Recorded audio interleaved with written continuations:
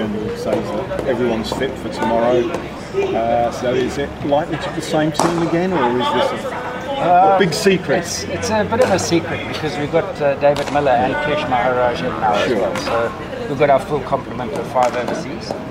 Um, and Alick Athanaze uh, looks like he's fit for selection as well. So, so it will definitely be a different team. Um, it's a good headache to have some of the youngsters that have come in have played really well as well. So, so we'll have a selection meeting later and then um, come up with the team tomorrow. Any concerns about, you know, some people say you don't change with anything, but now you've gotten your embarrassment of riches.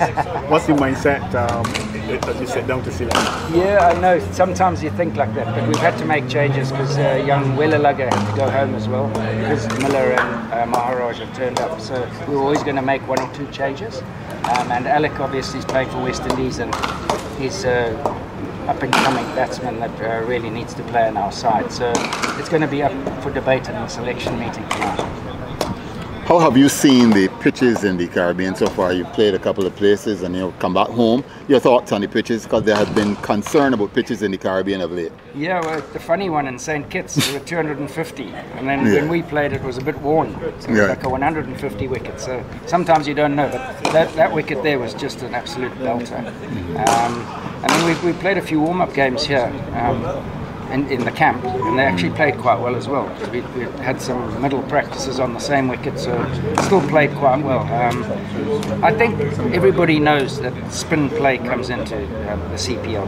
Um, as the tournament goes on, the spinners come into play more and more. Um, and the grounds are very different here. It's like there's always a wind factor. Sometimes it's smaller, sometimes the lights are lower, so there's a lot more drop catches. It's, it's really entertaining cricket. So I think the wickets, as we go on, get tougher, but we're hoping for a very good wicket tonight. And with the talking about the weather, obviously we've had constant rain pretty much earlier this week. Uh, how's the surface looking? You've been out there. Yes, I had a look. tonight. It looks good. It looks Yeah. like the, during the camp actually, so it looks like a good batting strip. But sometimes you just don't know what's underneath there. So, No, and at the moment, that, that looks like a decent. And when when it comes to team selection tomorrow, will the fact that the, the weather could be up and down during the, the day and the evening, will that come into play I with the think selection? if there's like a five over game or ten over game, then something we can tweak it there. Not really. Not when we turn up here. It might be more overcast or something. I don't think we'll change it once we sit in.